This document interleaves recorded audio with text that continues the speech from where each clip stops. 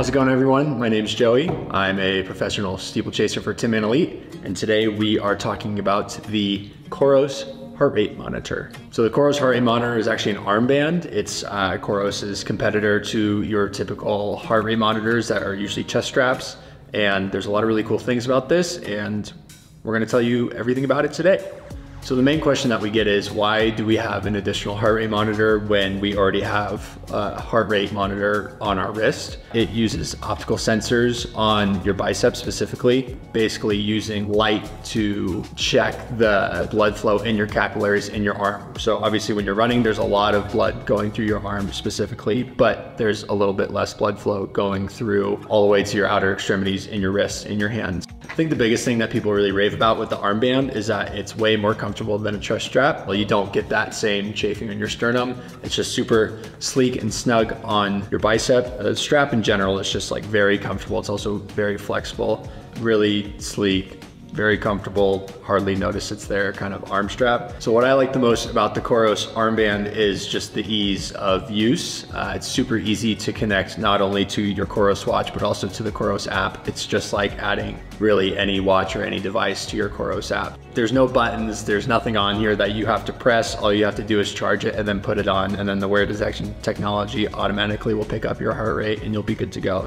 Just like any other piece of Coros technology, the battery life on these are unmatched. It has 38 hours of battery life in activity mode and then 80 days of battery life just in general standby mode. So this lasts me forever. I can't tell you the last time I had to charge it. So to put this kind of like in perspective, I use this for mainly like my threshold workouts just because that's when I'm like really trying to nail down running the right pace, running the right effort, uh, staying below that lactate threshold. And I've actually found a correlation between my heart rate and when that spike may happen. And so for me, that's right around 175 beats per minute. My last double threshold workout, we worked out at a trail called Davidson Mesa. It's a pretty loose gravel trail that has a lot of bumps in it. So it's a little bit hilly, but not too bad. But if you're running the wrong effort up those hills, it really does cause your heart rate to spike. I was monitoring my heart rate data saying constantly under 175. It's like good, I'm chilling, doesn't matter whether we're going uphill or whether we're going downhill, I'm hitting the right splits. And at the same time, I'm staying under my lactate threshold. Second to last rep, our good friend Connor decides to push the pace a little bit. When I checked my watch uh, with my heart rate monitor data, it said 175. And then a couple seconds later, I actually did feel a little bit of like a, what I call like a flush in my head, which is usually when my lactate spikes.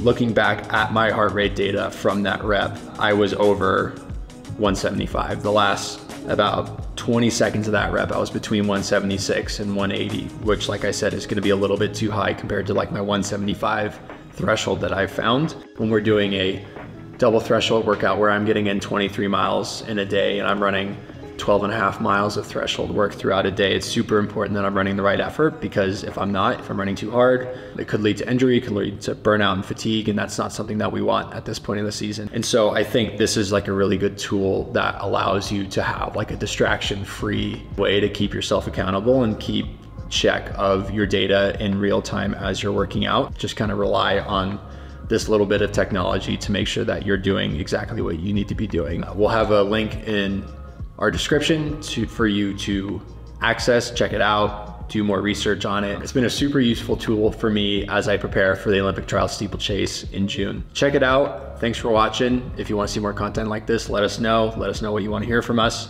and we'll see you soon.